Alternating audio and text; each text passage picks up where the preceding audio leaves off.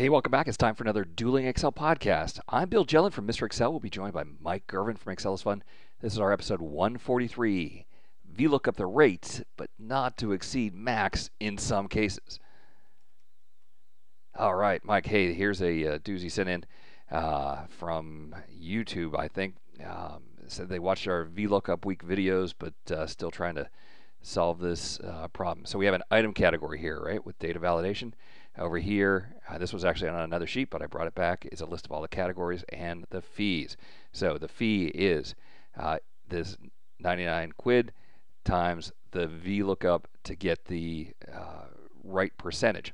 But for some of the categories, there's a max amount. And so for those four categories, then we want to make sure that this calculation doesn't exceed that and I'm thinking, um, trying to figure out, uh, am I going to use is blank? I'm going to look VLOOKUP max. Uh, I'm going to send it over to you and see what you have first. Thanks, Mr. Excel.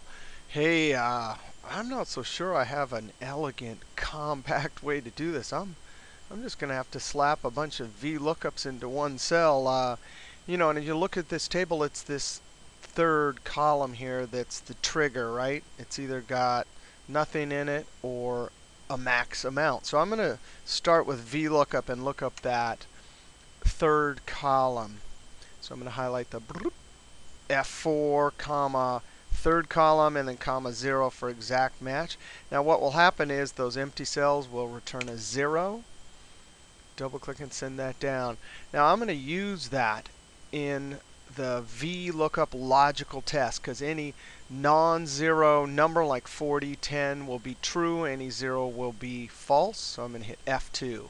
And I'll use that as the trigger if, right? Because we have two situations. We either need to compare the max to whatever the calculation is, or we just run the straight this. Now running the just the percentages where there's no max, that's going to be the value if false. So the value if true, hey, I need the min of either control V, either I meant to copy this, copy, either control V uh, from the second, so we're going to get that percentage from this column here and multiply it by this, or the second min value will be control V. We're looking up the item, the max value from the third column. So when I close off the min, I'm back and these screen tips are awesome. Value if true. Now I type a comma and the value if false. Oh, I have to run the VLOOKUP again. So this will be from the second column times one cell to my left. Now technically what will happen is that it will run the VLOOKUP in the logical test. If it's false, it'll have to run VLOOKUP twice. If it's true, it'll have to run VLOOKUP 1, 2, 3 times plus a min. All right, Control Enter and copy it down. And so it looks like here, instead of getting whatever the percentage for furniture is 10% times 855 and went ahead and got the 40 bucks. The rest of them look okay too. All right, send it back to Mr. Excel.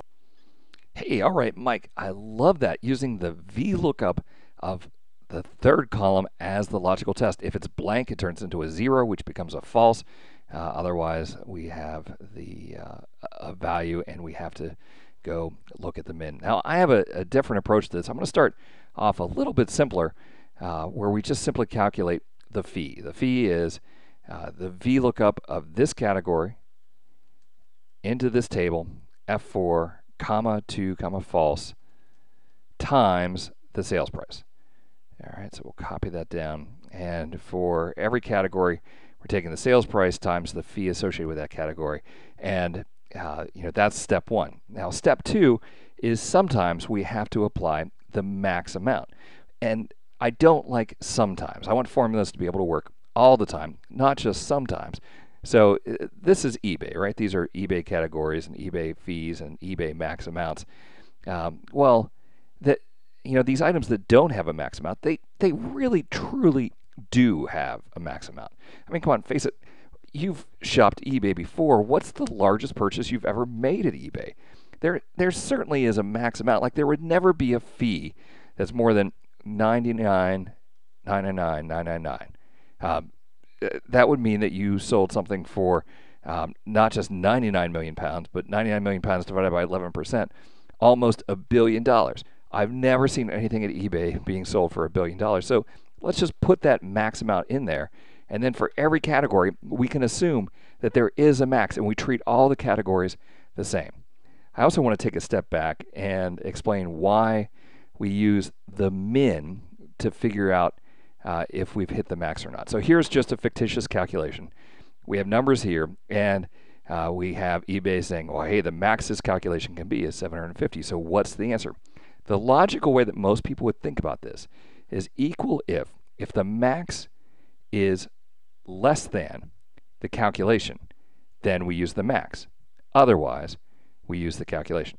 I think that makes sense to a lot of people. That that's just how we, we think about it. We look at this uh, and choose one or the other. Well, it turns out that these answers here are the exact same answers we would get if we use the min of the two items. So that one's the same, same, same, same, same, same. And what we're doing here is we're setting up kind of a race, all right? And we want to see who has the lowest score. And in this case, 685 versus 750, which one is lowest? It's the calculation is lowest. That's what wins.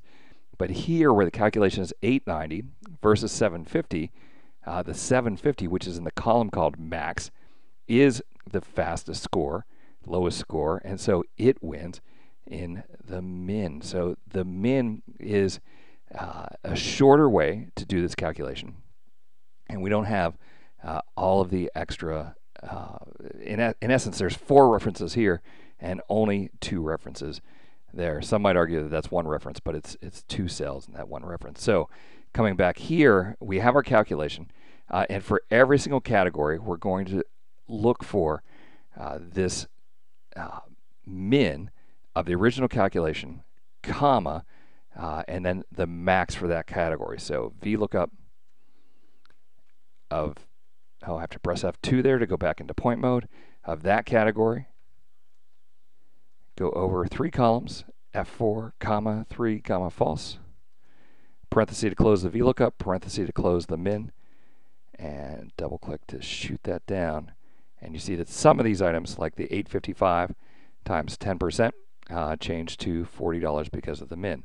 Uh, the other items, which uh, never got close to the max, they stayed exactly the way that they were. So by coming back here to this table, adding in the really big numbers, numbers that are larger than any number that could possibly happen from this calculation, we get to use one set of logic uh, instead of having to test for both sets of logic. So there you have it. Hey, I want to thank everyone for stopping by. We'll see you next time for another Dueling Excel podcast from Mr. Excel, and Excel is fun.